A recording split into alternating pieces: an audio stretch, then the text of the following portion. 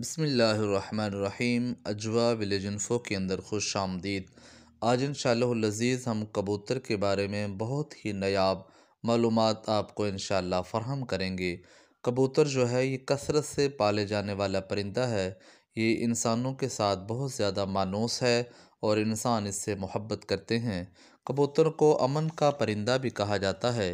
कबूतर एक बड़ा जहीन परिंदा है। साइंसदानों के ख्याल के मुताबिक, कबूतर देखी गई तस्वीर को दोबारा देख कर पहचानने की सलाहियत भी रखता है और कबूतर एक लंबी परवाज़ का हामिल परिंदा भी है। ये सैकड़ों मील दूर से अपना घर, यानी अपनी छत को पहचान लेता है और लोग इसे शौक़ के साथ छोटे बड़े अपने अपने घरों के अंदर पालते हैं। यकीनन ये चंद ही दिनों के अंदर नया कबूतर भी अगर अपने शेड या केज के अंदर या रूम के अंदर रखा जाए तो ये आम लोगों से, फैमिली से मानूस हो जाता है।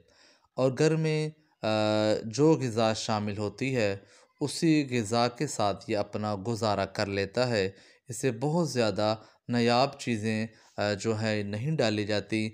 घर की गंदम, चावल रोटी वगैरह जो है, वही इसकी बेहतरीन गज़ा है।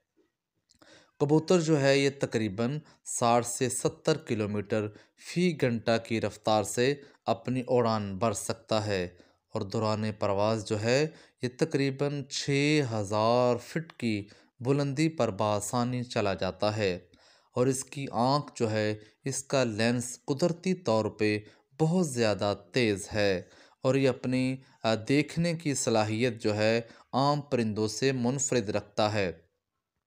ये अपनी छत को, अपने केज को, अपने घर को ढूँढने में इसकी चोंच जो है, इसका बहुत ज़्यादा किरदार है और साइंसदानों ने इसे इलेक्ट्रॉनस डिवाइस कहा जाता है। वो कहते हैं कि इसकी चोंच जो है, ये इलेक्ट्रॉनस डिवाइस का काम करती है। ये कई मकनतीसी क़वतें जो हैं, उनको ज़र्रात को पहचान के ये अपने घर और अपने छत के ऊपर बसानी वापस आ जाता है। और कबूतर जो है, ये बहुत अच्छा परिंदा है और ये घरों के अंदर ही अपनी नस्ल को बढ़ाता है और ये ब्रीड भी करता है। कबूतर की बहुत सारी अकसाम मौजूद हैं दुनिया के अंदर और इसे तकरीबन 180 नायाब नस्लों के नाम से याद किया जाता है।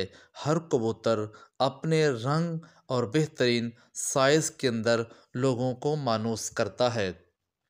कबूतर जो है, ये घरों के अंदर पाले जाते हैं और ये अपनी उड़ान के अंदर सारे परिंदों से मुनफरद परिंदा है, जो सबसे ज़्यादा उड़ने वाला और हवा में रहने वाला परिंदा है।